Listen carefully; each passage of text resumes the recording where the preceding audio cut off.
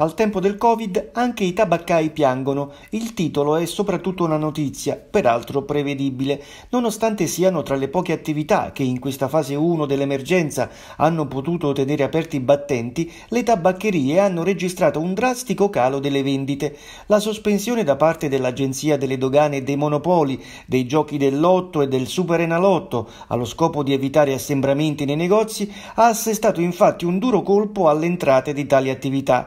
Il calo, ci dice un esercente a Isernia, è legato soprattutto alla vendita dei prodotti secondari, di quelli cioè che il cliente compra di impulso dopo l'acquisto della merce per cui si era recato nel negozio. Le vendite sono un po' crollate perché manca proprio l'affluenza, manca la gente, cioè, c'è un sensibile calo della, della presenza proprio all'interno delle tabaccherie. Succede anche sulla vendita dei prodotti secondari che per noi sono invece i più importanti.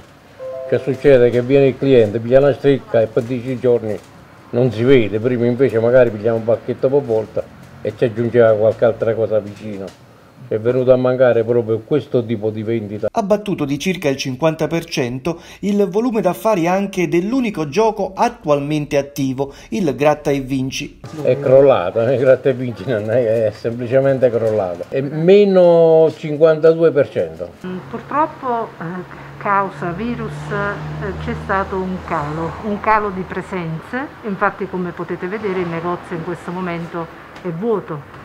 Tra l'altro poi si crea anche un forte disagio per i pochi clienti che arrivano, dato che bisogna farli entrare uno alla volta. Non parliamo poi delle nostre vendite, eh, in quanto sì, il tabacco certamente viene venduto, però eh, è stato penalizzato tutto il settore giochi.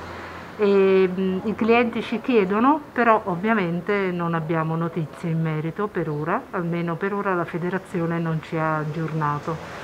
Ci auguriamo che al più presto tutto ciò passi e sia solo un brutto ricordo. Siamo quasi della metà e, questo è un po' grave considerando insomma, che abbiamo dovuto mettere anche eh, l'impiegato a riposo in cassa integrazione proprio perché il lavoro è calato notevolmente e quindi io e mio marito gestiamo al meglio eh, quello che ovviamente si, si può.